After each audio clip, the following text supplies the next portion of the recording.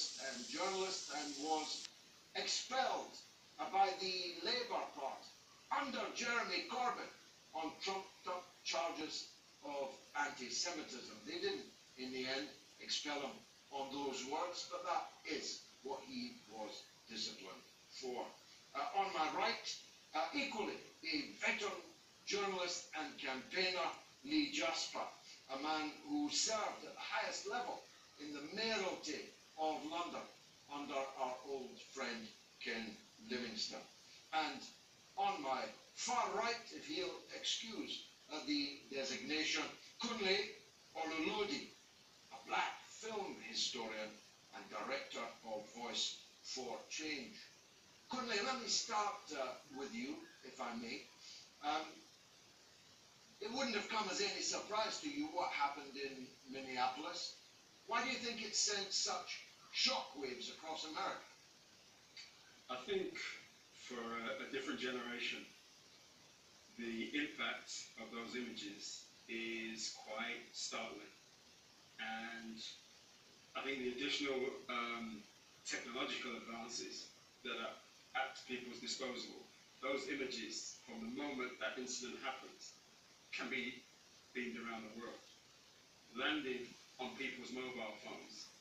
And if you're a young person in London, probably knows a little bit about America, probably knows that there might be some tension in race relations, but seeing it graphically is a whole different ballgame. And there is no human being, I think black or white, who could not connect with what was being seen there. And people did. And I think that, you know, the worst thing that could have happened, having had that incident happen, is that people actually did nothing. You know, I can make many criticisms about young people today. People have described them as snowflakes.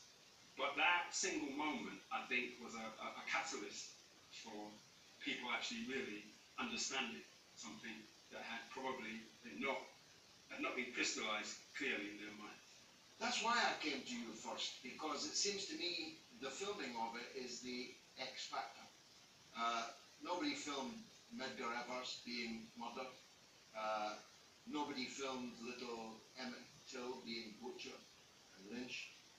Uh, we had to wait for Bob Dylan to write a song uh, about it, or virtually nobody outside of his immediate circle or the immediate circles in the United States would ever have heard.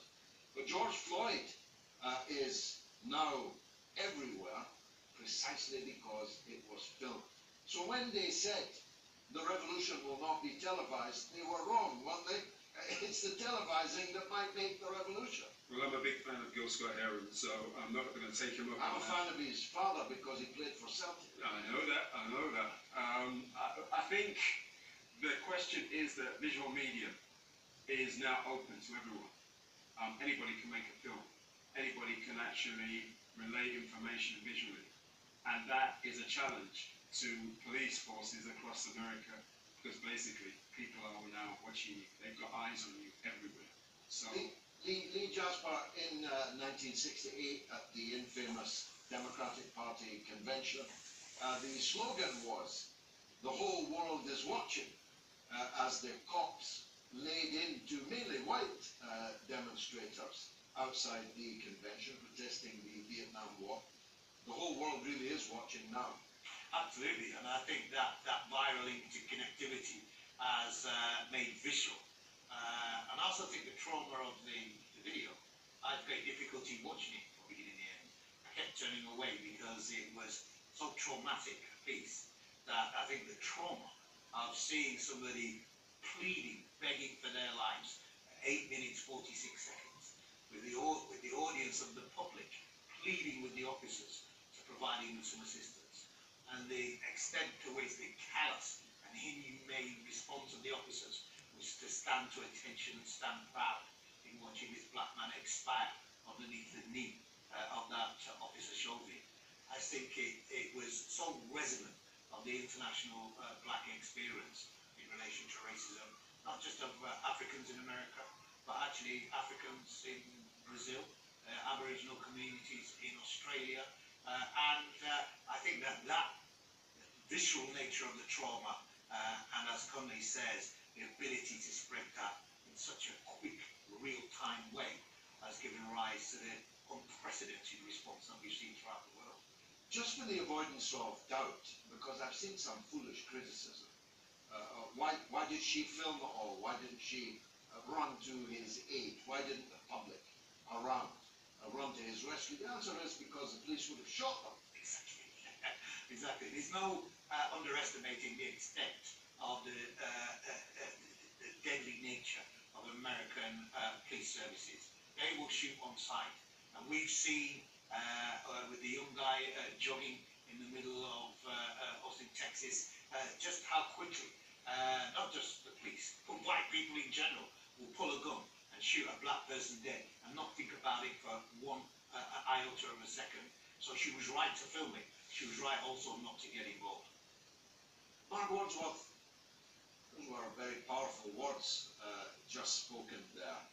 Uh, the universal black experience. Speak to that, if you will, because if this was just an issue in Minneapolis, it was just an issue even in the United States, we probably wouldn't be talking about it here today. Well, we might, but the audience wouldn't have been as big. Uh, it's the fact that, as Kunle put it, everyone watching it could connect to. Absolutely. And 17-year-old Darnella Frazier, who did the filming, a black teenager, is a hero of our time. People have been raising her name in the same breath as talking about Rosa Parks in um, 1955, when I was born. The fact that she had the presence of mind and the bravery to capture that moment, that lynching, is incredible. She held her nerve. Her job was to record this iconic moment for history, for all of us. And to, as a result of it appearing that uh, 8 minutes and 46 seconds of vicious, ruthless police brutality against an unarmed black man with a knee on his neck, lying helplessly on the ground sent, shockwaves of revulsion around the world that not only mobilized black youth from, you know, every place you can think of in the United States, in, um, uh, in Europe, um, this has galvanized a generation that themselves have suffered police brutality through stop and search. Four times more likely to be stopped by the police in uh, Britain than a white person. You know, my own sons, I have sons that have been brutalized in that way. Um, you know, they start off in with a neutral view about what they describe as the feds and end up hating them because they're stopped and routinely humiliated. Let's go to America. Jonathan Jacob Moore in Oakland, California, uh, is a podcast host and activist, describes himself as an anti-imperialist. Uh, Jonathan, Yes. What is your take on events witnessed in America following the killing of George Floyd? I think that what we're seeing across the U.S. and around the world um, in solidarity is a real-time reckoning with how fundamental anti-blackness and anti-black violence is to the holistic fun- functioning, excuse me, of our societies. From Bristol to Detroit to Los Angeles to uh, Puerto Rico, we are witnessing a movement of people, uh, especially young people, who are coming to terms with how police violence against black people, economic deprivation, uh, political disenfranchisement, these are all tethered uh, together by a logic. And I believe that it is the normalization and the adherence to this logic of anti-blackness, of violence, that um, we're witnessing people in the streets educating and organizing against.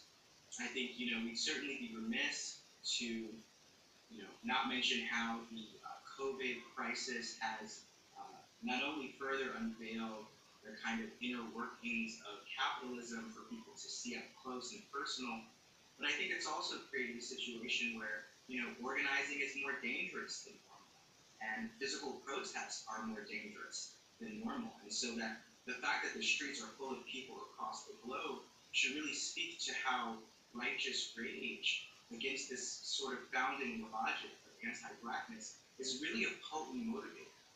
You know, um, most black people in the U.S. are still experiencing really bleak rates of COVID transmission in their communities um, and deaths in our communities. So people are really risking a lot when they're organizing out in the streets. Um, and I think you know that speaks to how the, the risks that Black people in America face every day are comparable to the risks that we face organizing in a pandemic. You know, it really is a sort of life and death situation for millions of people every day. Is there a difference between the Democratic Party and the Republican Party on issues of race and discrimination? Yeah, that's a that's a really big and great question, George.